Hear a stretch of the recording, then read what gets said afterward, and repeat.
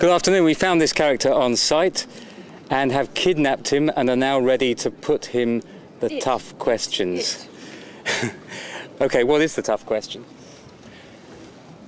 Why is McDonald's here at Climate Camp? Thank you.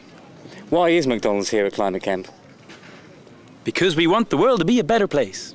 And if you have seen any of our stores recently, you'll notice how committed we are to greenwash and the importance of the environment. Um, okay, now I've heard that uh, with American kids, let's say, you're more popular than Father Christmas. Is, is, is, is that true? I, mean, I don't want to big you up or anything, but No, it's true. It's definitely true. Yes. Bigger than Father Christmas, bigger than various other religious characters as well. Buddha. Jesus,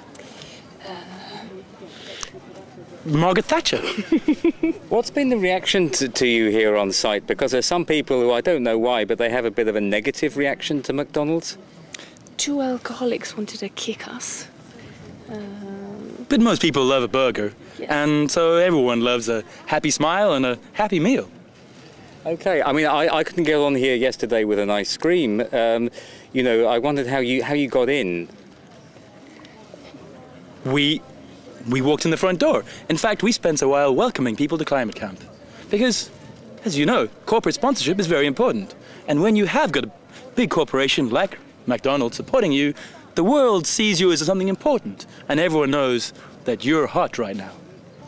Now, McDonald's has changed its menus, hasn't it, uh, recently? Um, can you can you give us some meaningless corporate spin on that, please?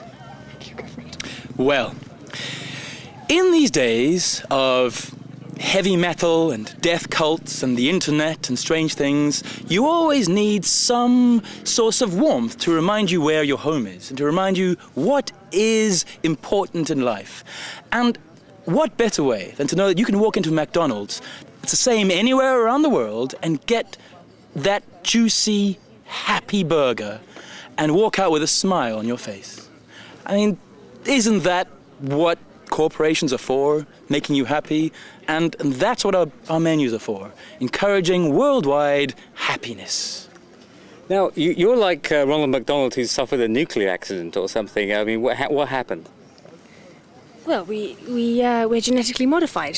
We're the best we can be. This is how you're supposed to be. This is how she's supposed to be. We're all meant to be like this. This is how you all will be f- very soon. Absolutely marvellous. I will be talking to these characters after the show about the possible sponsorship of Climate Camp TV. Thank you very much. Have a happy day.